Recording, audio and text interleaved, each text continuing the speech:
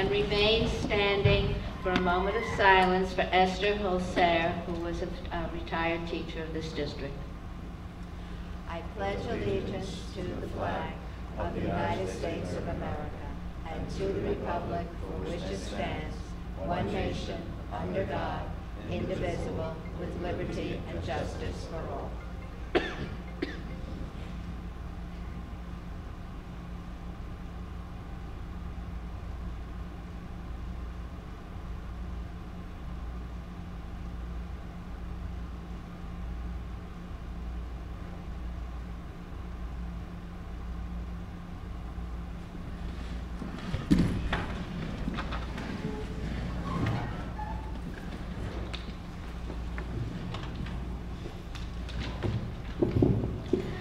Four point zero one, public comments on agenda items.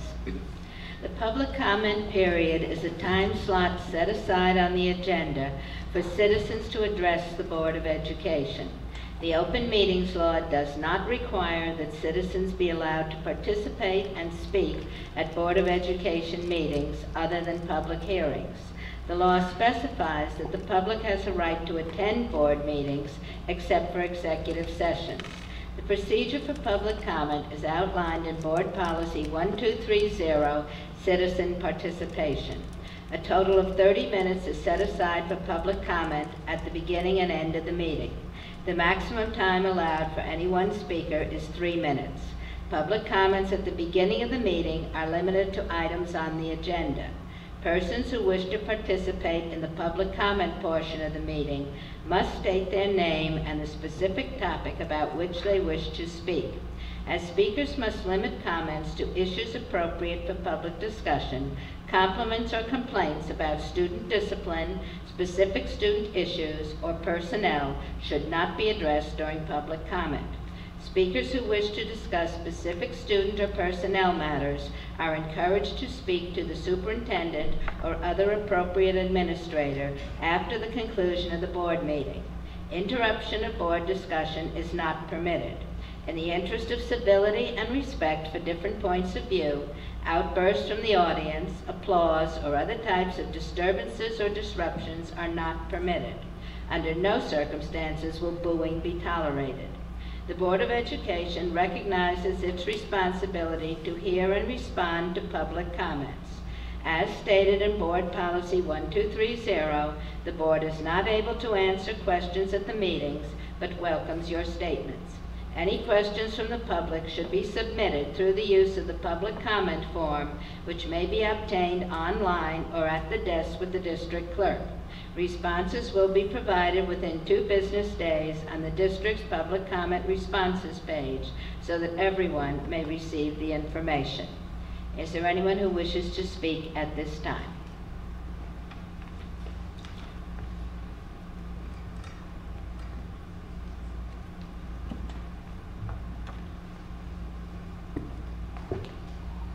Good evening, my name is Karen Clare.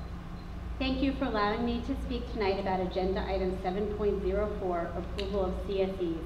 I understand that I may not talk about my specific student or any specific administrators. However, I wish to bring to your attention the difficulties that parents are facing when they transition their special education student to the middle school. Wappinger Central School District uses a full-day co-teach model in both the elementary and high school communities. Why then does our middle school not offer that vital support? This in- inconsistency is affecting numerous seventh and eighth graders across the district. Special education services are meant to level the playing field.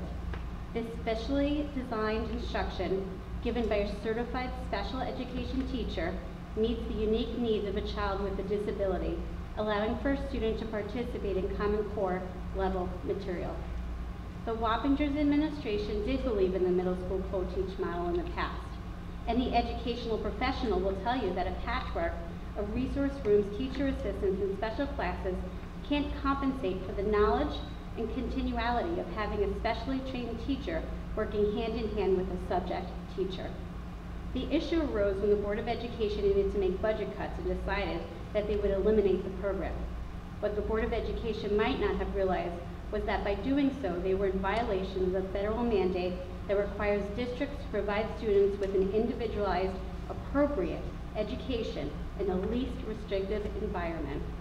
This action also may be jeopardizing federal funds that are specifically earmarked for special education services.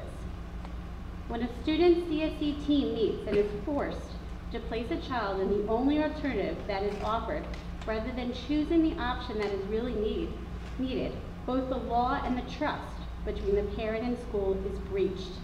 If you are in doubt of the fact that this inclusion model works, just look at your northern neighbor, the District of Arlington. They have the co-teaching model in all subjects in both of their middle schools and view it as a necessity for many SPED students. IDEA says that children who receive special education should learn in the least restrictive environment. This means they should spend as much time as possible with peers who do not receive special education. I will end with two statements that the New York State Education Department has offered to parents. One, your child should be with students in general education, and I quote, to the maximum extent that is appropriate. And two, special classes, separate schools, or removal from the general education class should only happen when your child's learning or attention issue, her disability under IDEA, is so severe that supplemental aids and services can't be provided her with an appropriate education. I respectfully request that you reinstate the inclusion program at Van Wyck Junior High School for the 2019-20 school year. Please consider aligning the schools in our district and righting the wrong done to many WCSD special education students. Thank you.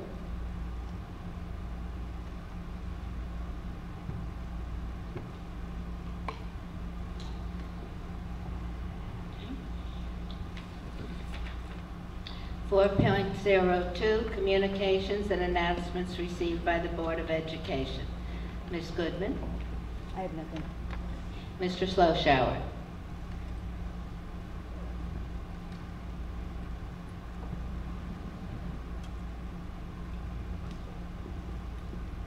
Thank you.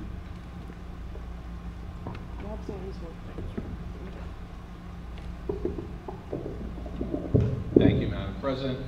Just to be brief, uh, this past week, we had our um, presentation on vaping at RCK on Wednesday. I would just like to once again thank, uh, from HealthQuest Dr. Christina Mazzoni and Dr. Dorothy Page for putting on uh, a very informative presentation. Um, We did get a decent turnout with parents, and we actually had um, I totally forgot which uh, team from John Jay, students were actually attended. Yeah, I forgot which team, do you remember which? I apologize, I forgot which team uh, appeared. Was it the volleyball, girls volleyball? Okay, So we had some students that attended, uh, as well as parents, and look forward to the continued uh, conversation and presentations for district staff, as well as our uh, assemblies for our secondary schools. So again, just wanted to thank HealthQuest uh, for the presentation. It was extremely informative, and uh, we look forward to sharing that information uh, with everyone else in the district. Thank you. Mr. Lumia? I concur with Mr. Slushower regarding the vaping, which was excellent. Uh, At this point, I'd like to recognize two nurses at Van Wyck Junior High School, as it was done this afternoon, Mary Miranda and Dawn Dracogenetti, for their professionalism, which was used to save the life of a parent of a student at Van Wyck Junior High School. They had to professionally, thank God they were around to help that particular parent, otherwise we have one less parent in the district. So I'd like to congratulate both of those two teacher, two nurses for doing their job and did it professionally.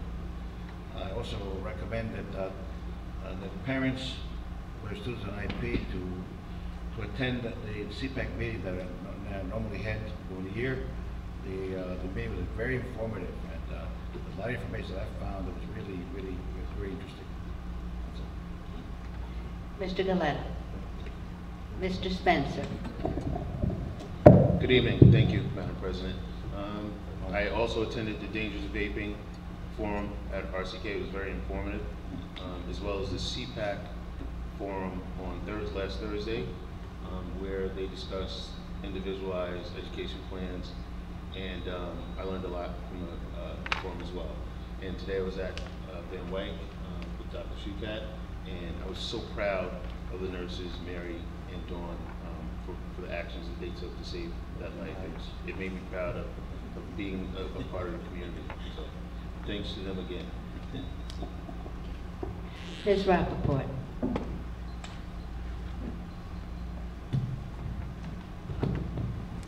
Good evening, everyone. Um, I spent a happy afternoon on Friday watching a cold read of three one-act plays um, written by three of Mr. Casey's Writers Workshop students, um, Allison Shaw, Evan Gordonier, and Brielle Miano.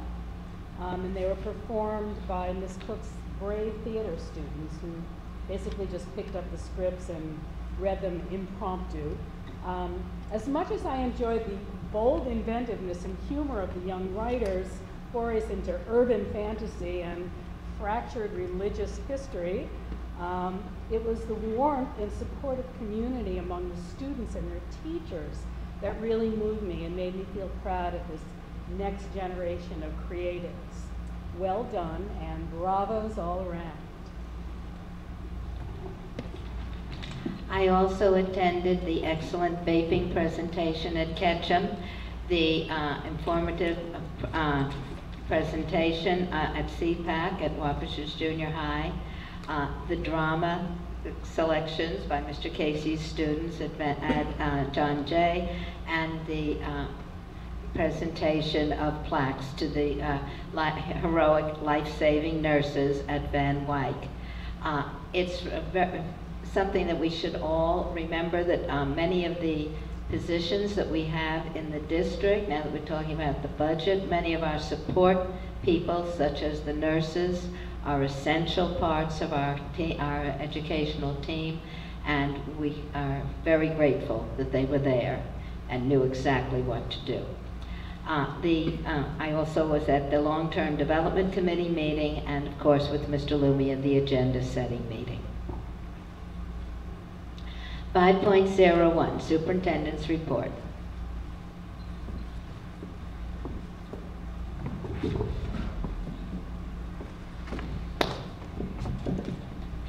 Good evening, Board of Education. Um, Respectfully, I'd like to go 5.01, 5.02, 6.01 as a full presentation, and then we can have the questions as we do with our roadshow. So we make sure that it just kind of flows together. First, I'd like to, all of our seniors out in the back, um, how you doing? Looking forward to graduation, to all these wonderful, exciting things that awaits. We can't wait to see you on stage receiving your diploma. Keep up the good work and um, do the right thing. uh, moving forward with um, the superintendent's recommended budget.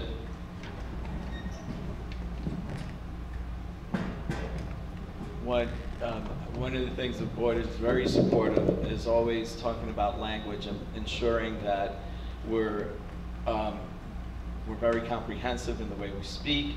And for many people, for many people in the community, when you talk about a school district budget, it's almost like a second language. So as you can see here, this is a page that we've held on to for the past four to five years, where we um, bold the necessary words for people to understand what a budget is made of. And obviously, the budget is the district spending. Um, we have the tax levy, the tax levy increase, state aid, other revenue, and assigned fund balance. Um, as we move along, we, when we look at our budget and we find out how we're going to balance this budget, we really think about alignment of programs, evidence, data, recommendations, and or mandated, mandated, some of these mandated requirements that we're not too thrilled about, but we are forced to um, put into place to build a budget.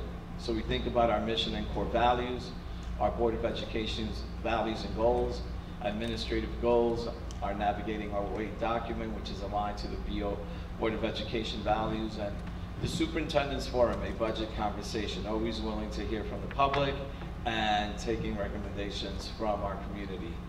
The above mentioned guides decisions to primarily in student instructional programs and opportunities, building level administrative teaching and support staff decision-making, extracurricular, student achievement, for example, graduation rates. Oops. Um, the, the constraints and challenges and considerations that we face, um, usually we have done this in the past as a narrative. This time we decided we would take it and create it into a table so that not everything comes across as seeming as a constraint or, or a, a, being negative. So for example, when you think of um, um, our, our Board of Education, um, their considerations. They're not constraints, they're not challenges, they're considerations that they, they, they, they want the administration to really take a look at to see how we can continue to enhance um, programs for our students instructionally and after school um, as an example of that. But we take the categories and, and not every category falls under a positive light, as you can see. State aid, tax cap, unfunded mandates, stability of economic markets, commitment to sustain and continue opportunities and options more than the minimal requirement for students. That's one of the things about Wappinger's Central School District.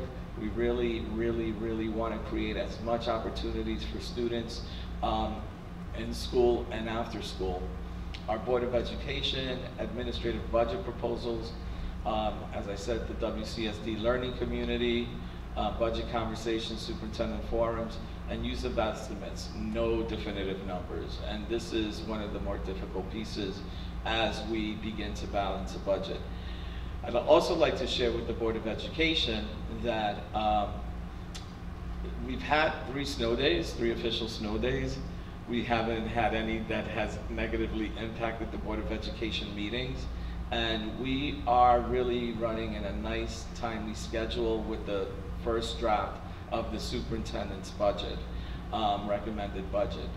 As you know, we have a process that we've put into place.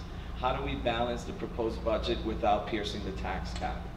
Um, our goal has always been to not have to come to the um, Board of Education and request um, piercing the tax cap, going over um, the tax cap.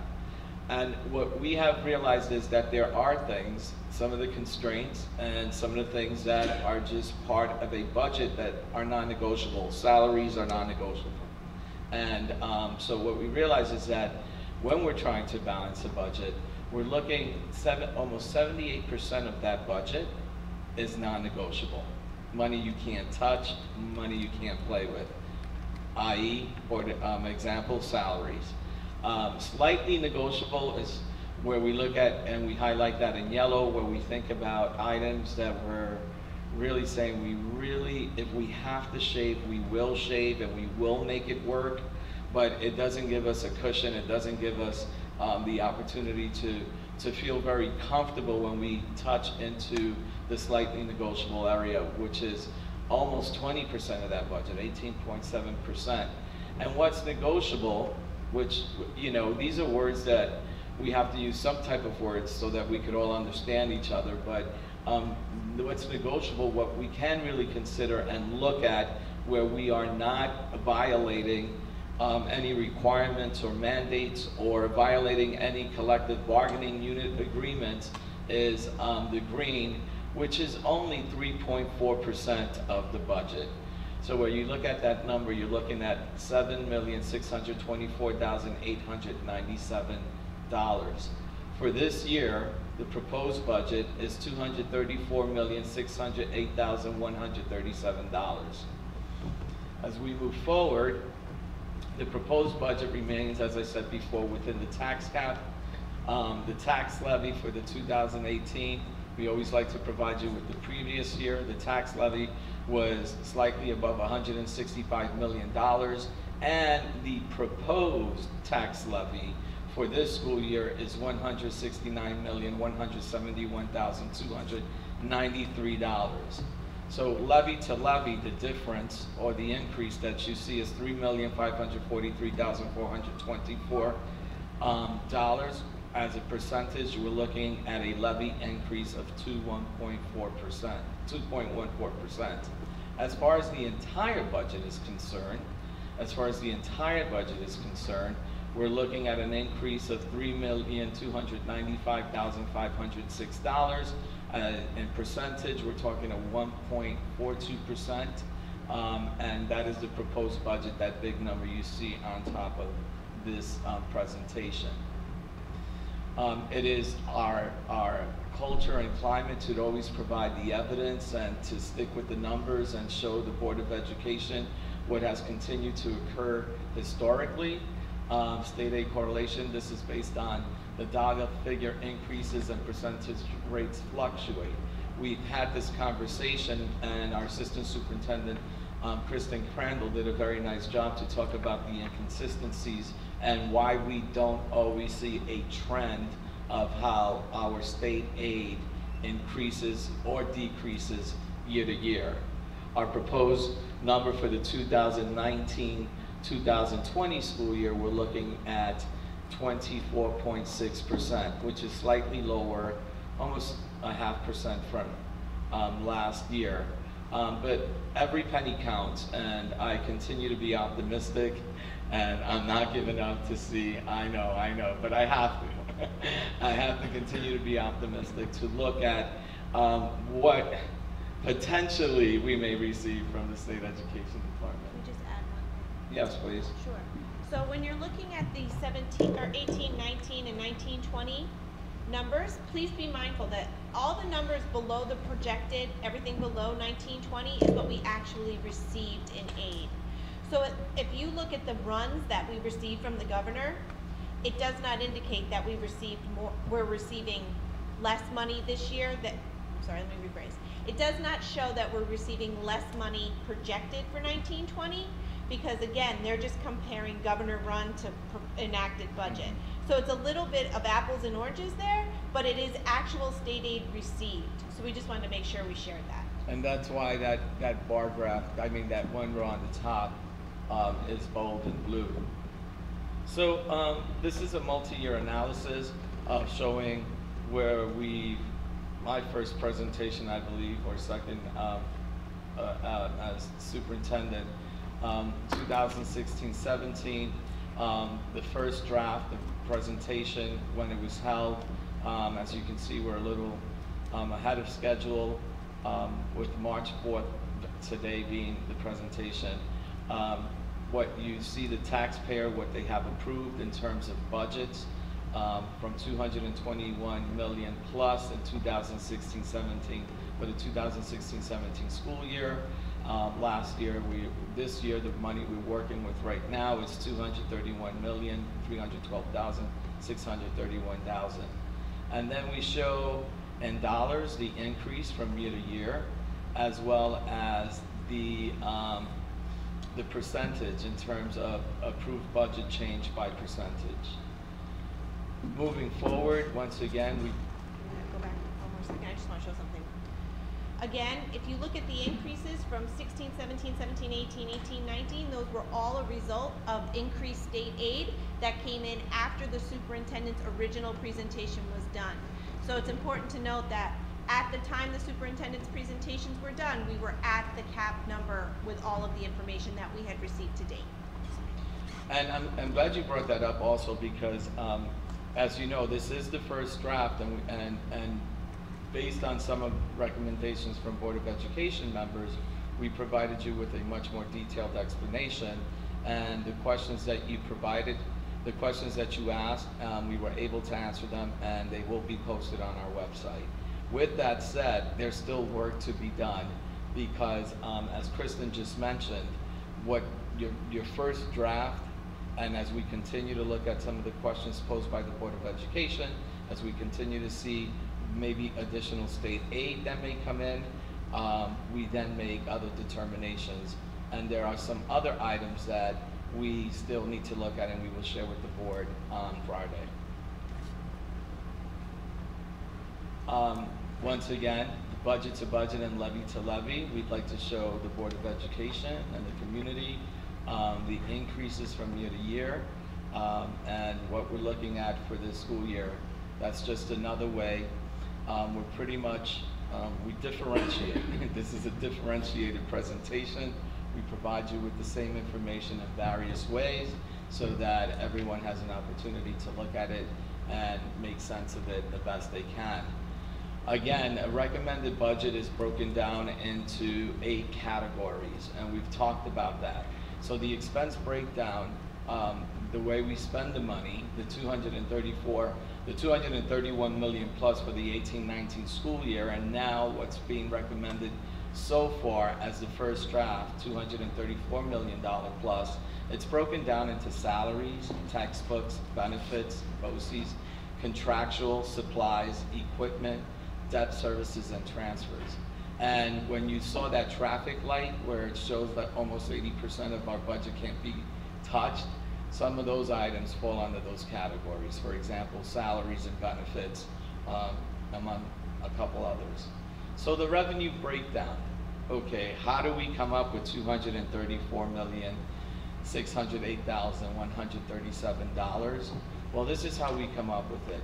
We're hoping that we get more than 24.6% from the state, but um, some of us are not as op- op- optimistic about that, but um, we're hoping that that number could be slightly higher.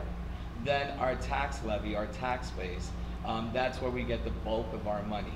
The bulk of our money is 70.63% based on our taxpayers. Um, other revenue is 1.03%, and tax levy increase is 2.14%. That's also added into the revenue breakdown.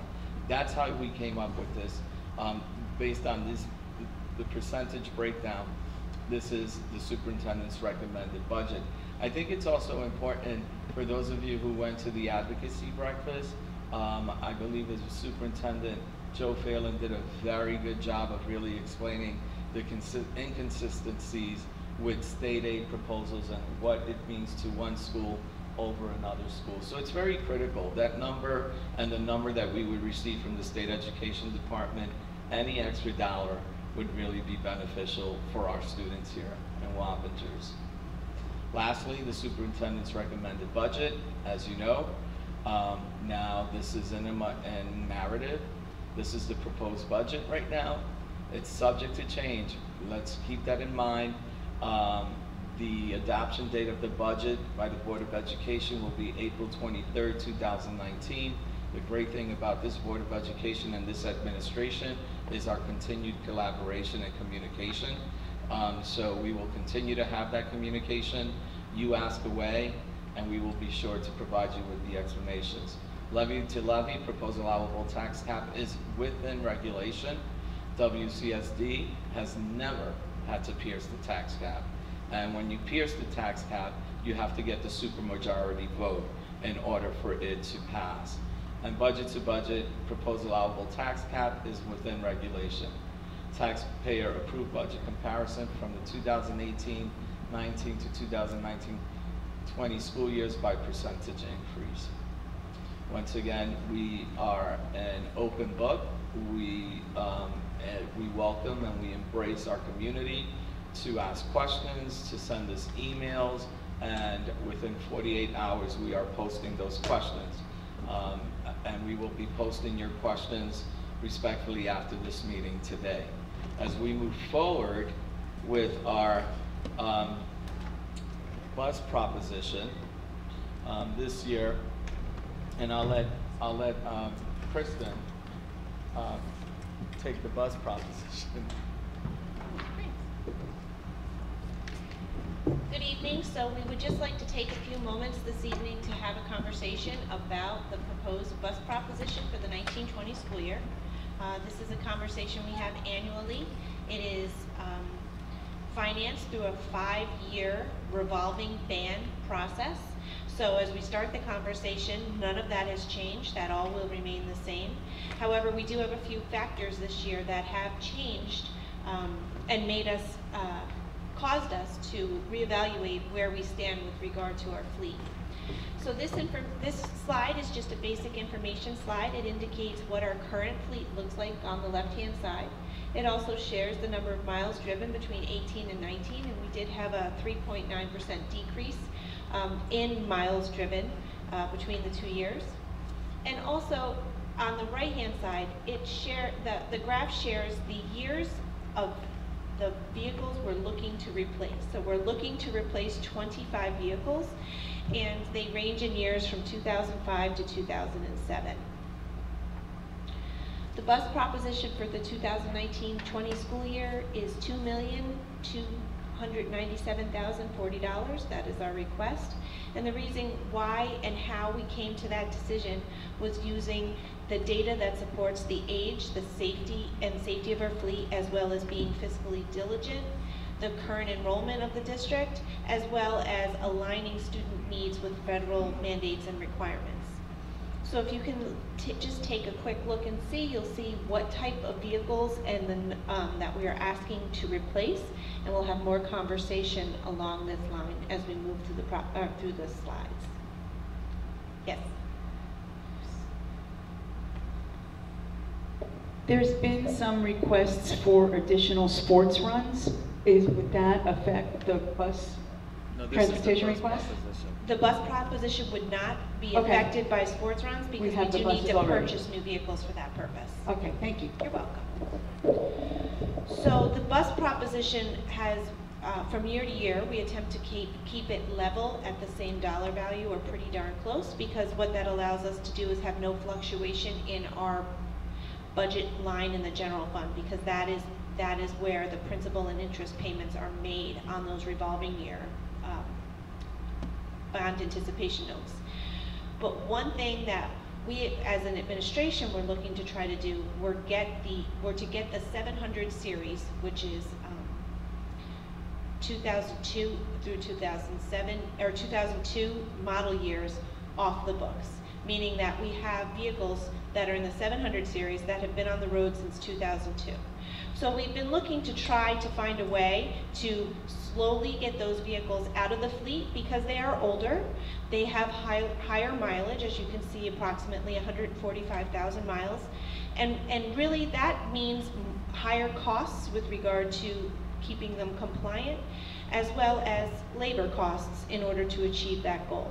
So we have all but two vehicles uh, being able, from that 700 series, being able to be uh, removed from the fleet through the 1920 school year if this proposition were to pass and also be approved by the Board of Education, but were also to be passed by the, by the community. So this is an example of long-term planning, how we could possibly try to meet that goal, and yet we still fell a little short. However, the reason why that occurred is, will be seen in the next slides. I went the wrong way, like I do every time. So we do have an aging fleet. That's, again, why that 700 series uh, reduction was so important to us. So this slide shows you the number of vehicles by year. And also on the right-hand side, just another way of seeing that same information, and also seeing the average mileage for the number of vehicles by each year. We continue to state about safety um, and the age of our fleet. Uh, Safety is our top priority, so therefore, we need to make sure that we meet all the minimum qualifications at the very least with regard to these vehicles. And again, going back to the revolving bo- uh, bond anticipation notes, keeping that budgetary line as even as possible from year to year doesn't allow for any seesaw effect when we're trying to balance a budget. What we have found over the last few years is that we've needed to have more students ride smaller vehicles. And that is for several reasons, and we indicate this on the right-hand side of this screen. We have IEPs, we have home lo- home location of students that, um, we can't get up on the mountain with those big vehicles, so we need to use smaller vehicles. Uh, we have out-of-feeder daycare and, um, school requests, and also federal mandates that have really put a stress on our smaller fleet vehicles. So as you can see, our enrollment may be continuing to decline from year to, to year to year. However, the students needing to ride on vans is actually increasing. So the, the um, proposition this year actually reflects that, addressing that need. We are requesting two additional wheelchair vehicles, which actually can accommodate 39 passengers. The other vehicles that we, the small vehicles we have, ha- can house 19. So if we could have those wheelchair vehicles added to our fleet, it would allow us to um, go to either bring more students in one vehicle to an out-of-district school, for example, or if we have uh, our van that needs to handle out-of-feeder daycares, we could put more students on that vehicle. So it does give us the increased flexibility that we need. We also would be looking to reduce the number of large vehicles by two. Our fleet would stay exactly the same at 261 vehicles, but we would just change the makeup of the fleet in order to meet the needs that we have, specifically with regard to enrollment. So here is two different pictures, a picture and a chart of uh, our bus propositions, the makeup of that proposition, either by vehicle and by year, or by dollar amount by year and the change in the percentage. As I had indicated, the way that we pay for these vehicles is through a five-year bond anticipation note, and right now, Wappinger Central School District enjoys a transportation reimbursement rate of 57.1%. So the annual cost of the five-year um, bond anticipation note would be $459,408. The state aid would be reduced, leaving a net annual cost of approximately $197,086. And those vehicles, you may ask, that we um, look to, to reduce our fleet, or I'm sorry, replace in our fleet 25 vehicles, we bring them to auction and get anywhere from $200 to $2,000 or $5,000 on those items. And we do share that information with the board as it becomes uh, available to us. We have auctions twice a year. Uh, we have the budget or the budget website up and going. Everything is posted on the website. We continue to try to um, get the best information that we can to be able to provide the, the Board of Education with the most solid information when they need to make their decisions. Thank you very much.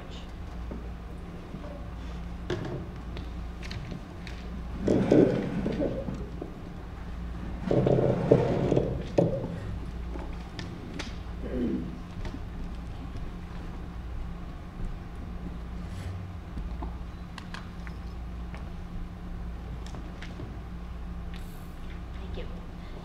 Uh, Questions from the board? Mr. Sloshower. Ms. Just for clarity, um, there is no mandate from New York State as to how many uh, wheelchair vehicles a district must, must have. Is, that's dictated by, obviously, the need based on, on students, correct? Absolutely, there is no, and for example, if the district did not have any wheelchair vehicles and we needed, and we needed to transport a child, we would have to contract out for that service, because we do have to offer transportation. Okay, thank you. Anyone else? Yes, bu- yes, budget and transportation. Yes. Uh, Mr. Spencer. Thank you, Superintendent Carrion, for the presentation. H- How close are we to the tax cap? We're at it. At it. We're at it. Thank you. Yes, I believe uh, uh, Mrs. Crandall has explained to us in the past that if we don't go up to the tax cap any year, we get punished the next year because it reduces the amount we can spend in the future. So when we do, uh, which is not true this year, but when we do have a little bit of extra money to get up to the uh, tax cap, uh, what uh, Mr. Hos- Mr. Carrion and Mrs. Crandall do is they find uh, things that we could buy that year that we would need. You know, in other words, they push forward, um, uh, you know, equipment or, or, or supplies that we would need to make it most advantageous, so that when the next year we don't have so much money, so much money, we've already have what we need. Is that correct? Do I did I explain it more or less, com- we- yes, adequately? Yes, Um, we definitely make sure, um, all of our administrators and, um, including the Board of Education have made some great recommendations in the past years, um, from, from science initiatives to looking at equipment. Um, and so we received some very thorough proposals, and that wish list never gets completed. So overall, we, we then prioritize and look at student need and student enrichment and enhancement to ensure that we take it all the way up to the allowable tax cap. And we went to Dutchess County School Boards Association um, one year where there was a terrific presenter who really encouraged all school districts that they should really be taking their budgets up to the tax cap because it may feel good one year, but then you'll hurt the next year because you don't get that money back. That's it, that's, yes. Mr. Galetta. I just wanted to ask about the proposed um, modified cross team that's proposed in the It's budget. there. Uh, The team itself is looking about ten thousand five hundred. There's a, Or tran- two. Two excuse me? teams. Two Two teams. I'm sorry, two teams. Just make sure. Um, there's a associated transportation cost with that. Yes. Is an additional ninety thousand plus, is that, and that's just, No. It's- it's is that for those two teams as well, or is that? No, not Go ahead. specific, not ninety thousand just for those Correct. two teams. It's included into that ninety thousand dollar budget. So it's added in there, it's built in there. That's not what he's asking. Oh, that's I think I understand what you're asking. I'm sorry. Are you asking that these teams would benefit from the use of that, those additional vehicles? Because we already have a stress transportation system for interscholastics. And for the last several years, quite, they have, a request has been made by interscholastics to have additional lake buses added to the, to the, to the, to the pool, yeah. Um, and that has not been included. If, since these two teams are included in this budget, there's absolutely no way that we could run at the interscholastics without adding those vehicles. So will it ease a stress on the system for all teams? Absolutely, but we just wouldn't be able to handle fourteen more traveling games, um, without the addition of, uh, without easing the, uh, the stress on that system. Uh, Mr. Spencer. So then, I guess the answer is, uh, the, the the modified lacrosse, adding the modified lacrosse teams would cost a hundred thousand dollars and not just. I, I would not, I don't think that's a fair statement per se, only because it would, that added vehicle would be benefiting all of Wappinger Central School District interscholastics, not just the modified teams. If we were to add them, it needs to be included. If we were not to add them, the system would still benefit, They're not exclusive. They're not exclusive, the systems would still benefit expanding the from runs. having We're it. expanding But the if we didn't have to expand the runs, we wouldn't have to. We add wouldn't it have to, but it would right. definitely assist and, and answer a request that's been for several years being asked. So it's almost like killing two birds with one stone, because the, the- there has been a request to expand the runs, and we're going to expand the runs, and as a matter of fact, the modified lacrosse team would be able to take advantage of that expansion of runs in the afternoon. But let's just say there was no proposal for the modified lacrosse, we would still be considering that because that has been a continuous request um, on an annual basis to expand the runs for after-school activity and programs.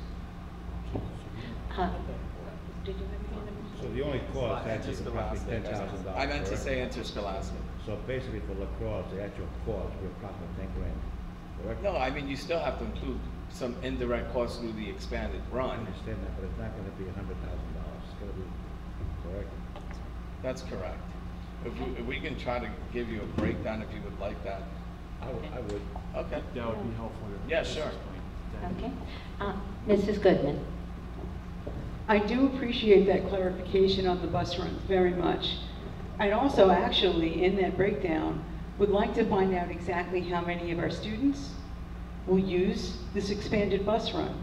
Because we're looking at adding $100,000 worth of busing while, for sports, while we are contracting art, music, academics, and I, sorry, as a former klutz and current klutz, and a teacher, I'm not sure I'm completely on board with it yet.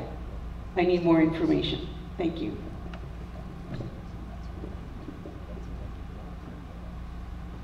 Any other questions? On either the budget or transportation proposition? Okay. Thank you. And we will you. provide explanations to the- your, your request.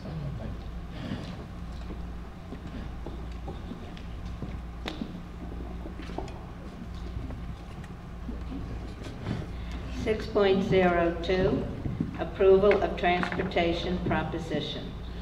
Resolved, the Board of Education of the Roberts Central School District authorizes submission of the following proposition for the qualified voters of the district to vote on the annual district meeting budget vote and election to be held on May twenty-first, two thousand nineteen.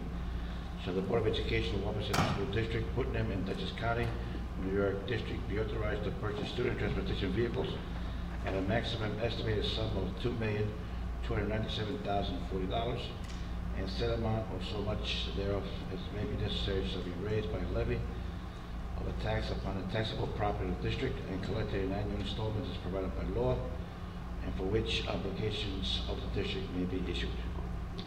Do we have a motion? Mrs. Goodman, second. Mr. Galetta. Any further discussion? All those in favor? Unanimous. 7.01, consent agenda resolution. Is there anyone who wishes to remove something from the consent agenda?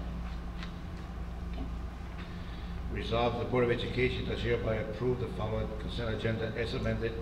Items as stated, 7.02, 7.03, 7.04, 7.05, 7.06, 7.07, 7.08, 7.09, and 7.10. Uh, excuse me, yes, you have a question? Mrs. Pedro? Should it be seven point oh three and 7.03, as amended, okay? As an addendum. And then that- Okay. Do we have a motion for the consent agenda? Mrs. Goodman, second? Unanimous.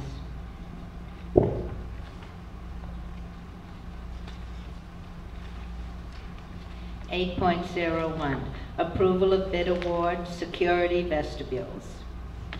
Resolved that the, that the reader supports that, excuse me, I'm sorry, which one? I apologize.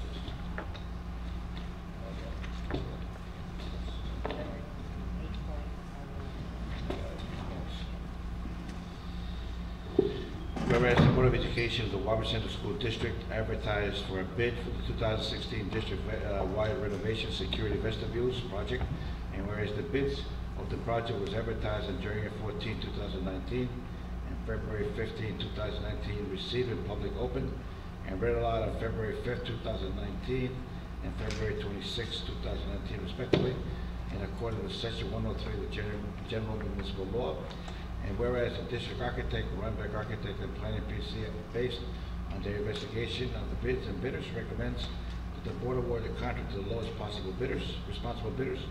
Now therefore be resolved, the Board of Education of Wappinger Central School District take the following action.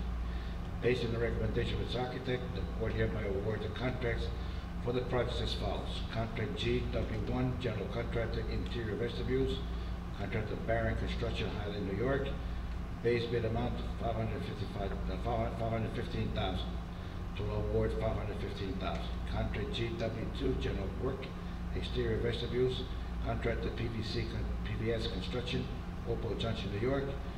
Base bid amount $698,435 Alternate 1 amount $19,650 Alternate 3 amount $165,000 Alternate 4 amount $162,000 Total award $1,045,885 Contract E1 uh, Security Vestibules Electrical Work.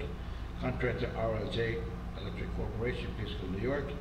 Base bid amount 162000 Total award 162000 Be further resolved that the aforementioned contract award is subject to the execution of a written contract and supply of all insurance certificates and performance and labor material payment bonds in the form and accordance with the term and condition prescribed in the project manual originally dated March 31st, 2017 after to review and recommendation by the district attorney and his board of consultants. Do we have a motion? Mr. Sloshower, second. Mr. Galletta, Any discussion or questions? Mr. Lumia. I just would like to have uh, Mr. Lakim explain to us uh, why we're paying actually 500000 addition as to opposed when this was first proposed. So just a quick explanation for the benefit of the community as well as the board. Thank you. Uh, So the, the- it's two pieces. One would be the uh, cost of materials has gone up in the two years since the project was first envisioned. Um, You know, the cost of steel, cost of aluminum, uh, but most, the larger piece of the cost increase comes from uh, the availability of work and, uh, and supply of contractors able to do the job. It's my understanding that there are a number, many, many, many, many, many projects being bid uh, for school districts in the area, uh, and contractors are enjoying all of the work and are able to, um, uh, are able to uh, charge higher prices, pick and choose their projects, and, and charge higher prices for their work because there's so much of it.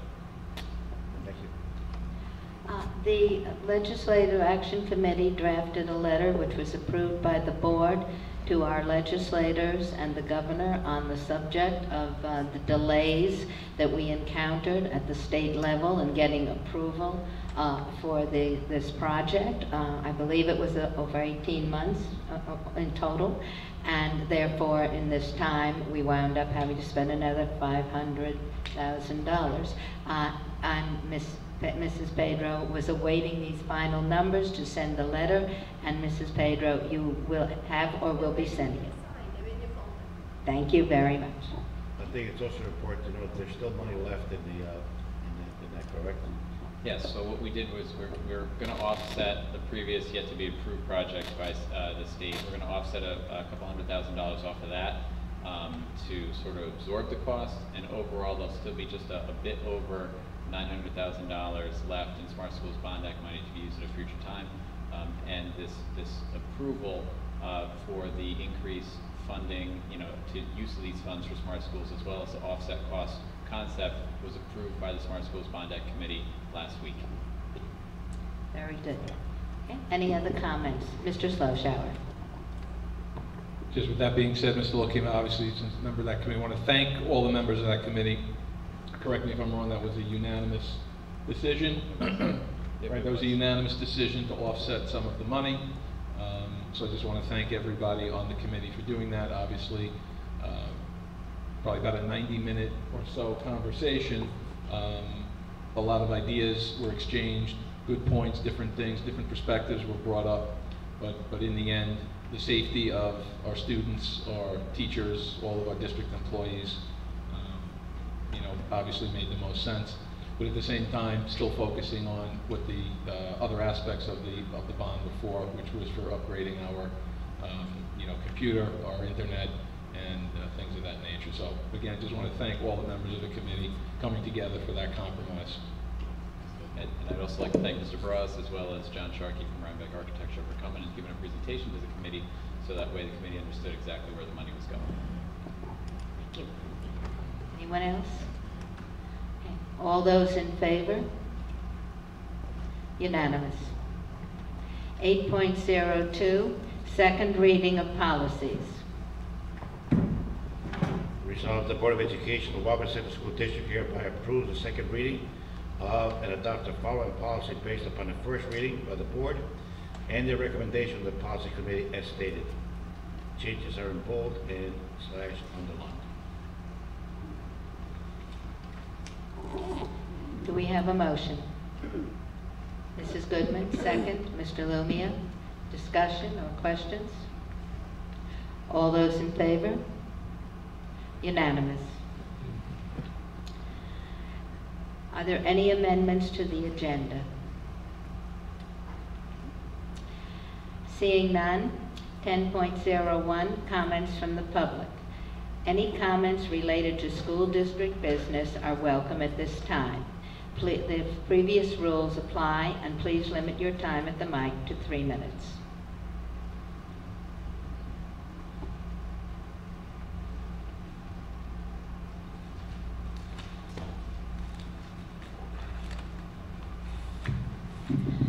Hello, everybody. It's Marie Johnson again. Um, I just wanted to say that I also attended the vaping, and there was a lot of wonderful information, and I can't wait for it to get out to the rest of the public. And also, I'd like to thank all the board members that came to the CPAC meeting this past Thursday. It was informative, and it just really showed that um, it, we really felt how much you guys cared about it, and we really wanted to thank you. Thank you.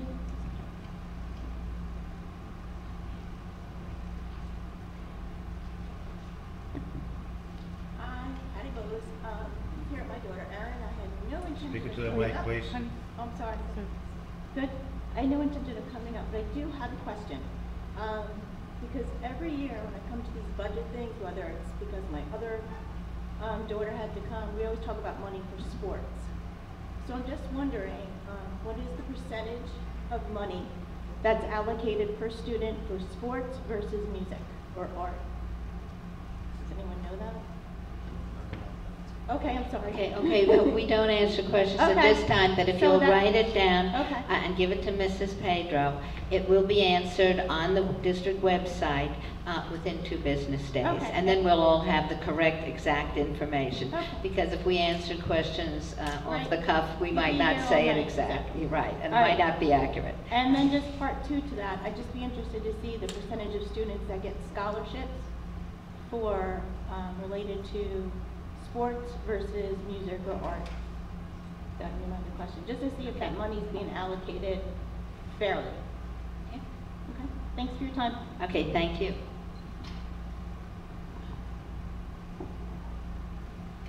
Uh, Good evening, all. I just wanted to second Marie's comment um, on uh, those board members that did take the time to come. Um, There was like one thing after another to do uh, last week, so it was exceptionally noticed, because I think it was Monday, Tuesday, yeah, Thursday, should have been four days, actually. Um, And there was a a parent that got up before, I've addressed this um, but the powers that, that, that be, uh, um, I did my research, we did take it away, the inclusion. Um, it doesn't affect my present child in the junior high, but it's kind of an oxymoron. We have two years part-time inclusion, four years full inclusion, two years part-time, and then as needed. Um, I know, I know certain board members that teach things like math, which always has inclusion in their common core, but it's, it's kind of weird listening to parents project at like CPAC meetings that they could almost guarantee that their child's gonna fail the social studies Regents when they're in seventh and eighth grade. Because they're built, you know, they are still building blocks. That, we'll give it to them then, when like it's the year of the Regents, but we have all these gaps, um, in between. So I, I obviously am sit here enough to know that we're not gonna fix that in this year's budget, but maybe in some long-term planning, it's something we could try to fit, fit back in for, for these kids who are not set up to fail. And, and I'd love to know the correlation, which I'm not gonna write it down, but just food for thought, of how many of the special ed kids end up in our summer programs and our like reboot programs that failed, that didn't have inclusion, social studies and science in seventh and eighth grade, but do have it in ninth and tenth. And this precedes any present administration. I know these things happened even before my time. Thank you.